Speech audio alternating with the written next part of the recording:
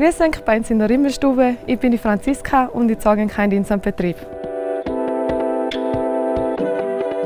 Die Rimmelstube ist ein Restaurant in Rinnen im schönen Berwangertal auf fast 1300 Meter Seehöhe. Wir sind ein Familienbetrieb und wir gehen gerne auf die Jagd. Und von daher kriegen wir dann unser Wildfleisch und wir betreiben nebenbei noch einen Bauernhof, wo wir dann das Lammfleisch aus eigener Landwirtschaft herbekommen.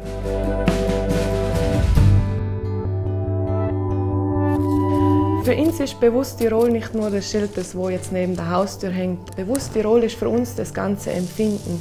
Dass wir Tiroler zusammenhalten, dass wir uns gegenseitig und die kleinen Betriebe unterstützen, dann weiß man auch, wo es herkommt und dass die Qualität passt.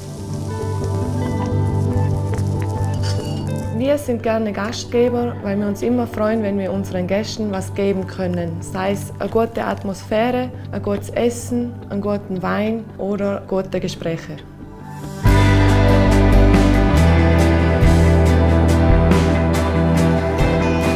Uns ist einfach wichtig, dass wir unseren Gästen zeigen können, dass wir mit den Produkten, die wir von uns beziehen, von uns aus Tirol, dass wir sehr gute Gerichte zubereiten können, dass wir bewusst kochen, bewusst regional, bewusst Tirol eben.